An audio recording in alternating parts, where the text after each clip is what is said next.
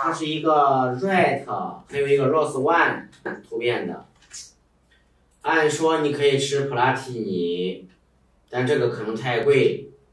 你也可以吃阿莱替尼，或者科唑替尼都可以。但是呢，这个报销完也不少钱呢。你吃那个国外仿制的那种卡波替尼也行。说实话，还有别的拔牙药，但是我估计你们嫌贵。那目前来说，最便宜的还是你你从外边买的这种卡波替尼。但是你吃一段看看疗效，如果疗效好了，你继续吃；疗效不好，你必须得换。啊那个仿制药的话，跟跟咱买那个阿莱替尼的话，他们有有什么区别吗？没啥区别的，阿莱替尼肯定肯定有效率会高一些，但是代价也大也贵。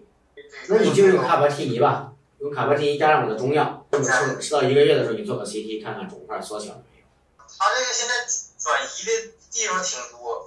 那是啊，那就是如果你转移再多只要咱药物有效，它还是能够解决问题，还是能控制。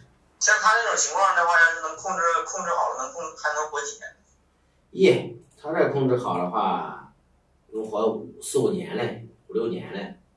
他比那个，甚至比 EGFR 突变活的时间还长嘞。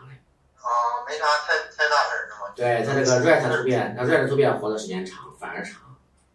但是前提你得用用对药，你现在用的药卡波替尼反正是有点对症，但不完全对症。最好的药你说是哪个？最好的就是普拉提尼啊，普拉现在承受不了，有点太贵了，六万。啊，那那是最好的药，但是你承受不了就算了。马医生，他有一个就是那个给他那个不转移到脊椎了吗？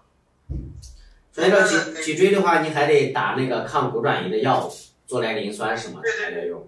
我就想问你这个唑唑来唑来磷酸，我给长春打了一针，他长春大夫建议我们就是一个月打一打一次，对呀、这个需要每个月打一针，二十八天。必须得每是？是的，二十八天打一次，至少得先打个一年再说。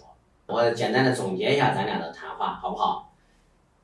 第一，从目前来看，你就先用着卡波替尼吧，无论从经济啊各方面也适合你，别的你搞不了。有药有好药，你的经济压力太大。第二，吃上我的中药，这样可以弥补你这个卡波替尼这个疗效的不足，让你长期的生存，抗癌一流。第三，每每个月把二十八天一次把那个抗骨转移的药打了，唑来磷酸，我待会儿给你发过去。如果效果不好，你再给我联系，咱们再想别的办法，好不好？因为目前这个目前这个是最省钱的事儿，最省你也得考虑省钱，谁家里能有多少钱呀，对吧？